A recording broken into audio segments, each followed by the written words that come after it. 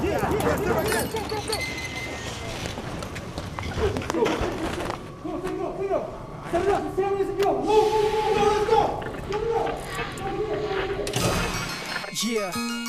One Enterprises, Viper Records presents AKIR, a mortal technique, and this is treason. Uh. I'm not down with the conscious rap or the sambos. My flow is cancerous, milk like sold to the hood in a package of murder. I'm a people get fired. I'm back with a semi with the infrared beam. So the Ku Klux and the combat aid. I put in your spleen, sending you to the grave.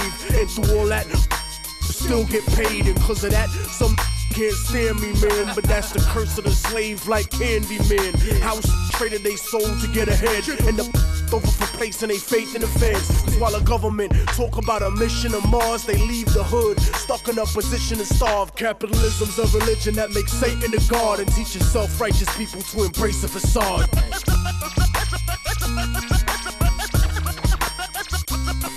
It's a cutthroat business, the way that we live. Born in the hood, trying to see a better life for the kids. It ain't wrong to make money, legit or illegal. But it's treason you turn your back on your people. It's a cutthroat business, the way that we live. Born in the hood, trying to see a better life for the kids. It ain't wrong to make money, legit or illegal. But it's treason when you turn your back on your people.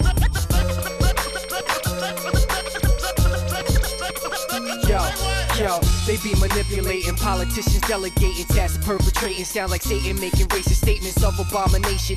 Pray to something sacred, waiting for that force to save them instead of saving. Moving destinations, property papers, waiting on your 40 acres till you old the is full of aching while the hole is gaping. To cake the making way in. I pray to God with all the aimings in the world and never make it aim when famous celebrity could fall off like leprosy. They telling me, so I pay attention to envy and the jealousy. I can say the kids the latest rage. Find me chilling on the source page. Fan base is fan race, complete with shorties that be revered in my old age for ripping the stage and even in from above when I wave. Throwing flowers on my grave, burning sage, saying thanks, hey, who made waves for freeing the slaves. Uh. It's a cutthroat business, the way that we live. Born in the hood, trying to see a better life for the kids. It ain't wrong to make money, legit or illegal. But it's treason when you turn your back on your people. Yeah.